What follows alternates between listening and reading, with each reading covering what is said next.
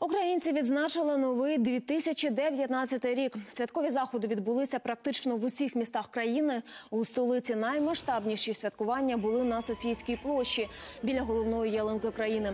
Зустрічати новий рік там зібралося кілька тисяч людей. Сюрпризом для них став приїзд президента України. Разом із дружиною Петро Порошенко пройшовся різдвяним ярмарком, привітав присутніх та сфотографувався з усіма охочими.